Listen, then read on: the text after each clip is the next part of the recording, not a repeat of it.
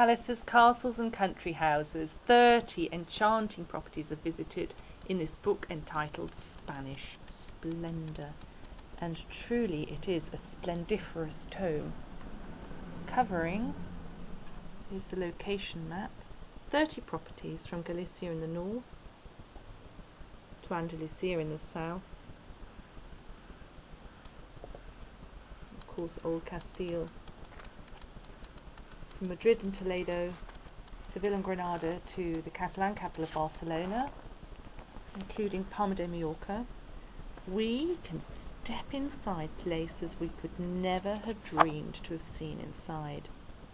This is the Court of Myrtles, which you'd be forgiven for thinking was the Alhambra Palace, with its Islamic details.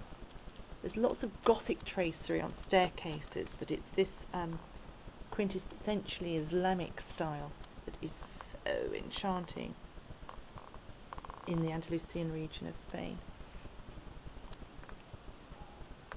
some elaborate ceiling tiles in the Ismic tradition.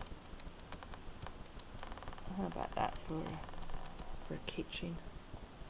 Floor tiles. To die for. Absolutely beautiful. I mean, interior designers can get so much idea so many ideas, sorry. That's a fabulous stucco detail from a weaponry room here. And there are some very, very grand patios. Very beautiful libraries. And of course these stunning landscapes to enjoy. This huge volume, 12 inches square.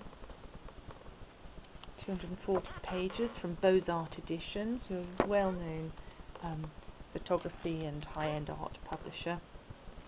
And they've done a magnificent job on this. And we can dream about visiting these, but we can now from the comfort of our armchairs. It's a new bargain book from Bibliophile Books don't have an original price to quote for you, but £16 this is incredible value for money. So bibliophilebooks.com. It's called Spanish Splendor.